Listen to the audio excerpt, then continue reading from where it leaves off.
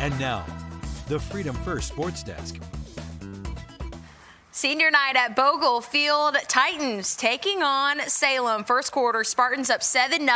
Israel Guerrero and Chris Harmon on the sack, but the Spartans get the ball back. Javion Jones with the scramble here makes it 14 0. Salem still first quarter. Here he goes again. Jones with the Jets. Turn them on. Salem dominates tonight 55 55 to 3 over Hidden Valley. Some more scores. North Cross in action. They beat Hargrave today, 51 0. Congratulations to Coach Alexander, notching his 100th win with the Raiders.